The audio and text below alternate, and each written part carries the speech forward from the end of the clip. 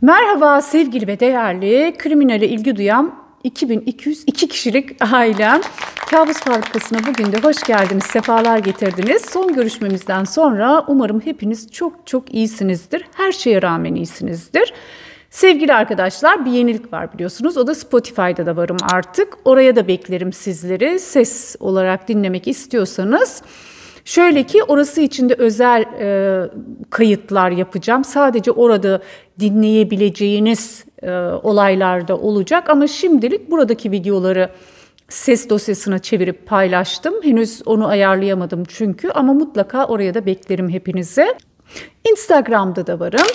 Kabus Fabrikası oradaki sayfamın ismi aynı zamanda ve oradaki arkadaşlara da ilgilerinden dolayı çok çok teşekkür ederim.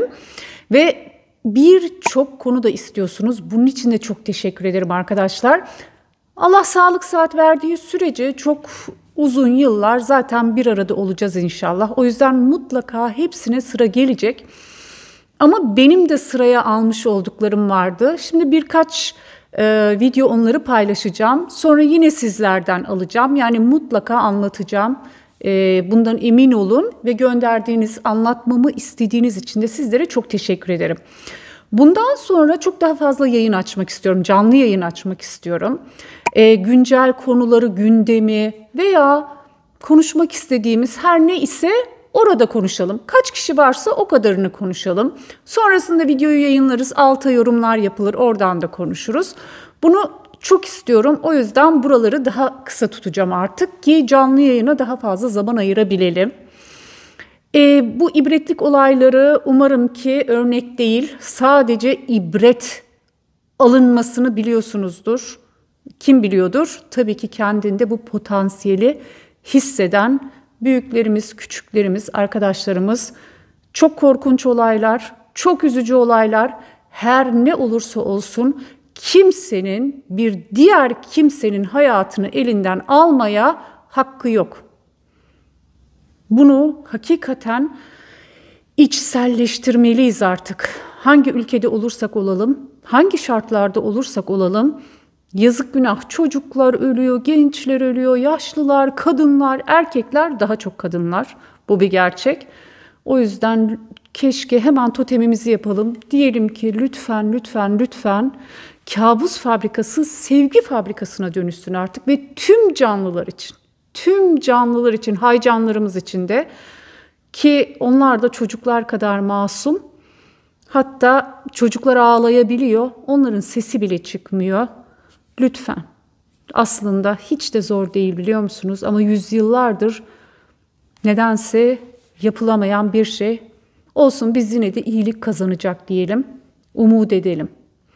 Bugünkü olayımız da işte yine bir gencecik kızın hayatının elinden alınması neden? Gelenekler, görenekler, evet sırf bunlardan töreler. Başka bir ülkede ama aynı derecede korkunç. Bunları belirttikten sonra bugünkü korkunç olayımıza geçiyorum arkadaşlar. Zenaat Rafik. Zenaat 1998 yılında Pakistan'ın en büyük ikinci şehri olan Lahore'de dünyaya gelir. Anne Parvein Bibi çok genç yaşta dul kalır ama geleneklerine, göreneklerine, törelere çok bağlı bir kadın, kadın olduğundan, çok katı görüşleri olduğundan bir daha da asla evlenmez. Parvin Bibi her zaman söz dinleyen, asla ailesine karşı çıkmayan, hatta bunları içten gelerek yapan bir kız olmuştur ömrü boyunca. İşte bu katı kurallara uymalarını kızlarından da bekler. Oğullarından değil ama kızlarından mutlaka bekler. Çünkü onlar da onun gibi hiçbir şeye karşı çıkmamalı. Aile neye karar veriyorsa onu uygulamalıdırlar. Zenaat en küçük çocuğudur Bibi'nin.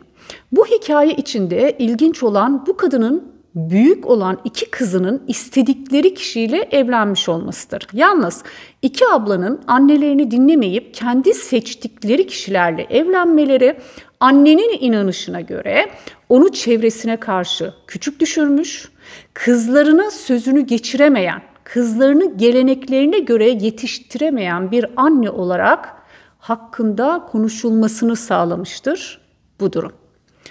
Zenaat da her şeyi farklı yapmalıdır. İki büyük kızına yapamadığı her şeyi küçük kızı Zenaat'te uygulamaya, onun üzerinden kendince çevresinde yine saygı gören bir anne olmaya çalışır. Kesinlikle Zenaat annenin seçtiği kişiyle evlenmelidir.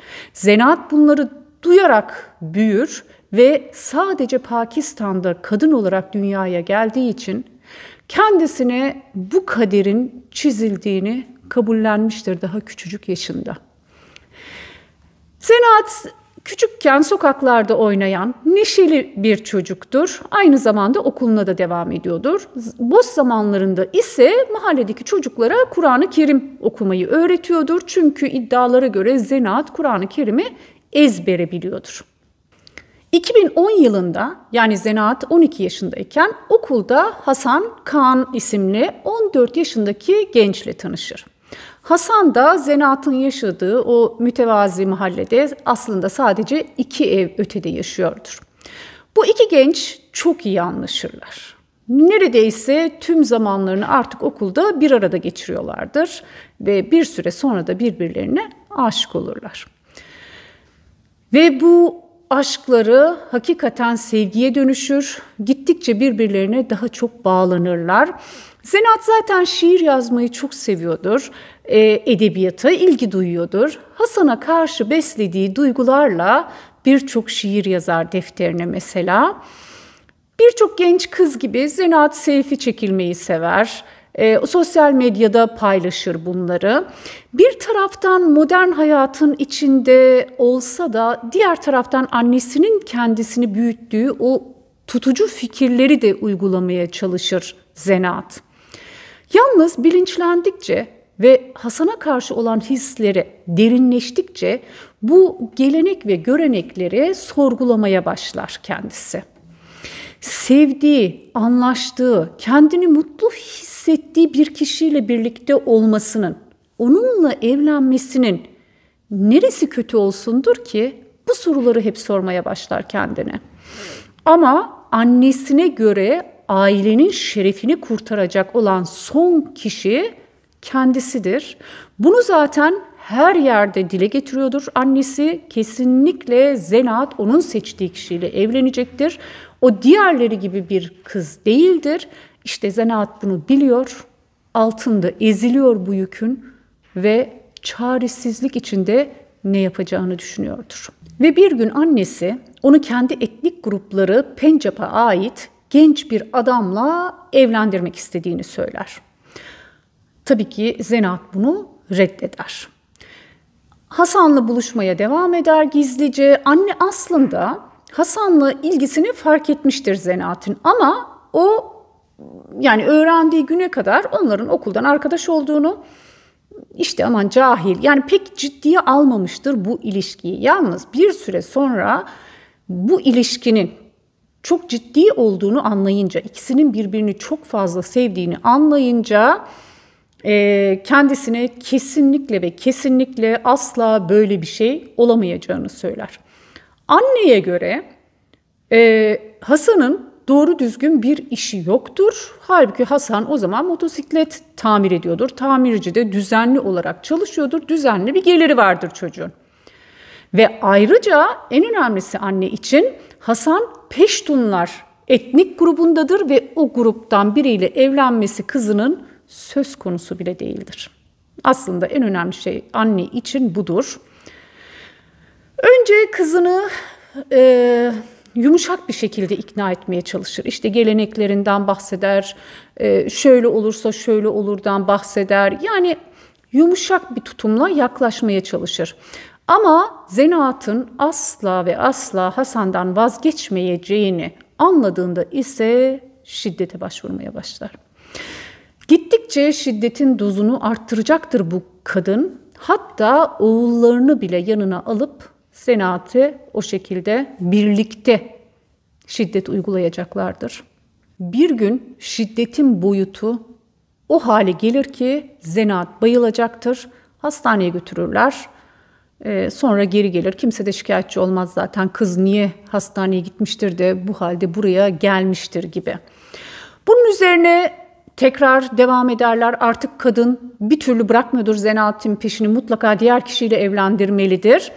Ee, yine zenaat karşı geldiği bir gün 2016 yılıdır ve 18 yaşındadır artık. Zenaat iş çığırından çıkar.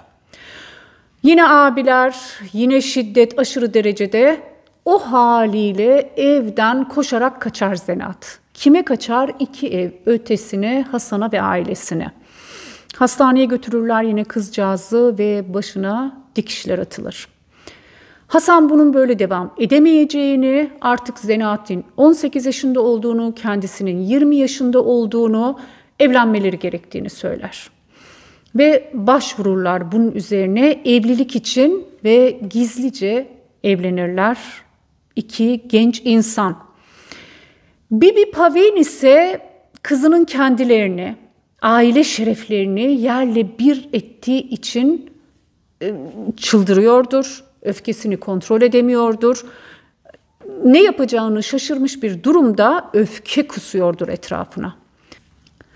Birkaç gün sonra yani Zenat'ın Hasan'la evlendiği duyulduktan birkaç gün sonra kuzenleri Zenat'ın Hasan'ın ıı, ailesinin evine gelirler. Birlikte yaşıyorlardır ya artık.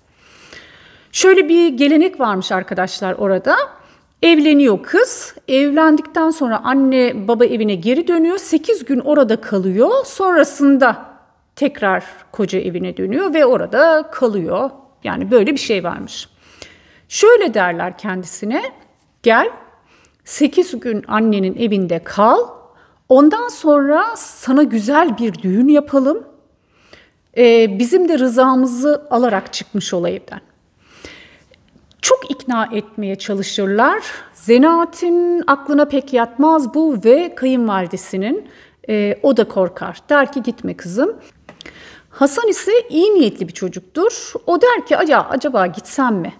Hani belki de hakikaten değişmiştir artık fikirleri gibi ama yok. E, hem kayınvalide hem zenaat bunu istemezler. Bir süre sonra amca gelir, zenaatın amcası. Şöyle söyler, ben kefilim aileye. Zenat sana hiçbir şey olmayacak. Bunun garantisini veriyorum sana. Bizim tüm çabamız senin bizim evimizden çıkman, bizim onayımızı alarak çıkman. Ee, kayınvalide aslında yine istemez. Zenat de istemez ama işte iyi niyetli Hasan der ki gel onların da onayını almış olalım. Öyle hayatımıza devam edelim. Sadece 8 gün zaten der. Nereden bilsindir ki zenaat sevmekten ve mutlu olmaktan başka hiçbir beklentisi olmamasına rağmen bu hastalıklı bakış açısından dolayı gencecik hayatının o eve dönüşüyle birlikte elinden alınacağını. İlk birkaç gün kocasıyla istediği gibi telefonda konuşabiliyor ve Hasan'a artık her şeyin güzel olacağı için çok sevindiğini söylüyordur. Ama dört gün sonra her şey tam tersine döner. Kızına hakaretler eder anne, aile şerefini yerle bir ettiğini söyler sürekli. Zenaat Hasan'ı arar. Kendisini gelip almasını, işlerin çığırından çıktığını, e, annesinin sürekli öfke kustuğunu, hakaret ettiğini, abilerini e, kışkırttığını söyler. Hasan ise şurada birkaç günümüz kaldı. Ondan sonra rahat edeceğiz. Bırak konuşsun sen aldırma der. İşte tabii ki Hasan o zaman bilemez ki çok sevdiği, daha yeni evlendiği karısıyla son kez konuşmuştur. Son kez iletişim kurmuştur. Ve 8 Haziran 2016 sabahı diğer günler gibi başlasa da o şekilde bitmeyecektir arkadaşlar. Çünkü sabahın erken saatlerinde anne ve abi Aneis Zenaat'in yattığı odaya gelirler. Odaya girmeleriyle birlikte Zenaat'in kabusu başlar. Önce bağırarak, hakaretler ederek yaklaşırlar Zenaat'e. Alırlar onu, zorla üst kata çatı katına çıkarırlar ve oradaki eski yatağa bağlarlar Zenat'i. Ee, kızcağız kurtulmaya çalışır, direnir, bağırır ama çatı katları orada açık olmasına rağmen, kendisini duymalarına rağmen komşularda kimse ne yardımına gelir ne de birine haber verir. Bir taraftan odunla başına vuruyordur kızının, bayılır o sırada Zenaat. Bir taraftan da bir bidon gaz yağını kızının üzerine boşaltıyordur bu cani kadın. Ve bir süre sonra da zaten bu eziyetleri ettikten sonra birkaç bidon daha gaz yağını genç kızın bedenini ıı, boca ettikten sonra ateşe verirler Zenaat'in canlı bedenini. Evet. Bunun üzerine komşular ancak bunun üzerine ateşi görünce, yangını görünce, o acı içinde bağırmaları duyunca polise haber vereceklerdir. Polisler olay yerine geldiğinde çatı katında Bibi Pavi'nin göğsüne vurarak aşağıdan görürler çatı katında aile şerefimizi kurtardım diye bağırdığını duyarlar. Kadın gururla artık aile şerefimizi kurtardım diye bağırıp duruyor, göğsüne vuruyordur. Polisler hemen çatı katına çıkarlar. Zenaat'in canlı canlı yakılmış bedenine ulaşmaya çalışırken bir taraftan da gururla bağırmaya devam eden kadını susturmaya çalışırlar. Otopsiye gönderilir gencecik Zenaat'in bedeninden geriye kalanlar. Anne ve abi sorgu için emniyete götürülür. Evde birden fazla gaz yağı bidonu bulunur. Hepsi boşaltılmıştır. Abi ise o sorgu sırasında nasıl oluyorsa kaçmayı başarır. Eş zamanlı olarak Hasan ve ailesi öğreneceklerdir durumu ve dehşet, dehşet içinde eve doğru giderler. Sonrasında Hasan şunu öğrenecektir. Zenaat orada yanarken, diri diri yanarken abi ve anne ona sopalarla vurmaya devam etmiştir. İlginç ve korkunç olan ise abla Şaziya'nın sevdiği ile evlenmiş olan ablanın sonrasında kardeşlerinin kendisinin suçlu olduğunu, aile şerefine leke getirdiğini, sonunu kendisinin hazırladığını söylemesi olacaktır. Hatta annesine konuşma, ilişkiyi kes ama öldürme demiştir. Yani annesinin öldürme planlarından haberi vardır bu ablanın. Bir başka abla ise annenin yıllardır dul oluşu, tek başına çocuklarını büyütüşü, çevre baskısından her gün daha duygusuz, daha katı olduğunu söyler ama kızlarına karşı, oğullarına karşı değildir bu katılık ve bu öfke. Otopside yanarken bilincinin açık olduğu ve diri diri yakıldığı ve boğma, işkence izleri tespit edilecektir. Zenaat'ın akrabaları almazlar cenazeyi. Ne abileri, ne ablaları, ne kefil olan amcası kimse almaz. Hasan ve ailesi gider, alırlar ve yakınlarındaki bir kabristana gömerler tarihsiz zenaati. Hasan bundan sonra panik ataklarla uğraşacak, kabuslarla uykularından uyanacak, artık hiç uyuyamayacaktır. Yalnız ailesinin ona destek olması sayesinde bir zaman sonra kendisine gelir Hasan ve der ki ben bu işin peşini bırakmayacağım. Çünkü sevdiğimin hakkını ben aramazsam asla hak yerini bulmayacak. Şöyle ki arkadaşlar e, Pakistan'da şeref ve namus cinayeti işleyenler için ceza yoktur. Gerçi bazı şeylerden biz de tanıyoruz bunu.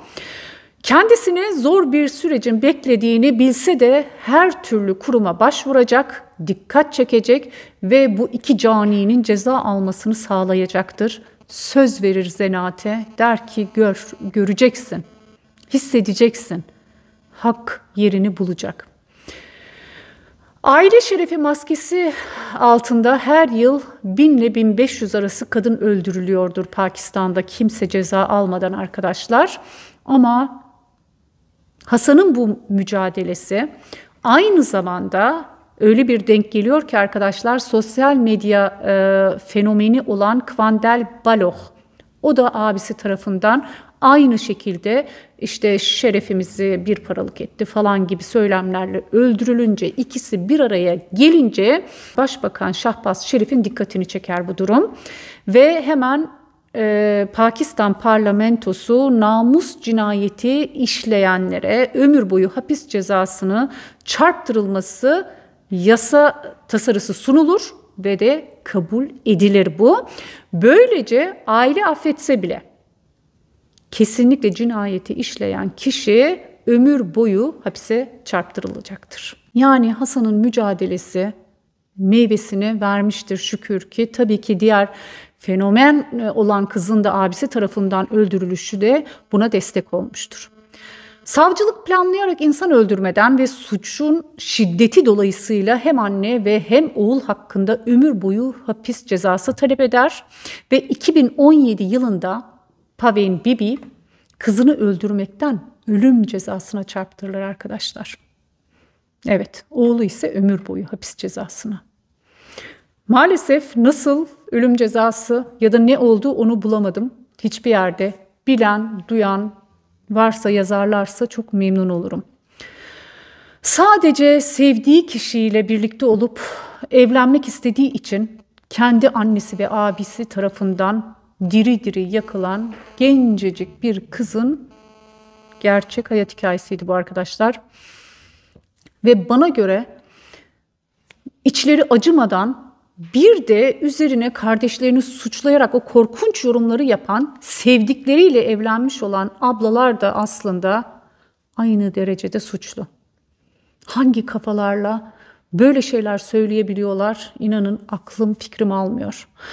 Anne diyelim ki çok katı büyümüş, çok gelenekler, görenekler şu bu hiçbir şekilde kimse kimsenin canını alamaz. O ayrı. Bu şeref de değil, o da ayrı. Ama genç insanların kendileri sevgi, sevdiği kişilerle evlenmiş insanların bir de kardeşleri için böyle yorum yapmaları korkunç ötesi buluyorum bunu. Çok korkunç. Herkese insan olmak nasip olmuyor hakikaten. Bugünkü çok çok çok üzücü olayımız gencecik bir kızın yitip gitmesi, diri diri yakılarak. Evet, bu da böyleydi arkadaşlar. Siz biliyor muydunuz bu olayı? Yorumlara yazarsanız yine tartışabiliriz. Beni izlediğiniz için hepinize çok teşekkür ederim. Bir dahaki videomuza dek kendinize iyi bakın. Çevrenize iyi bakın, görün görelim. Antenleri hep açık tutalım. Hoşçakalın.